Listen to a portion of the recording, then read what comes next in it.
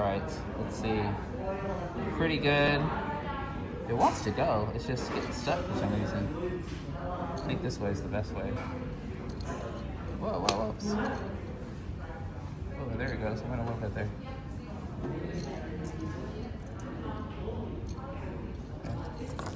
Maybe too many magnets. Let's try. Try taking off seven. seven.